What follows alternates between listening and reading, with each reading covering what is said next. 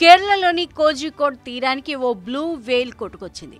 చనిపోయిన నీలి తిమింగలం కళేబరాన్ని చూసేందుకు జనం ఎగబడ్డారు దాదాపు యాభై అడుగుల పొడవున్న తిమింగళాన్ని చూసి షాక్ అవుతున్నారు.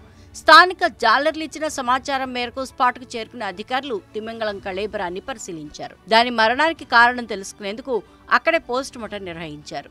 ప్రోటోకాల్ ప్రకారం దానిని అక్కడే పెద్ద గొయ్య తీసి పాతి పెడతామని అధికారులు తెలిపారు. తీరానికి కొట్టుకొచ్చిన బ్లూ వేల్ కళేబరానికి సంబంధించిన వీడియోలు ఫోటోలు సోషల్ మీడియాలో వైరల్ అయ్యాయి.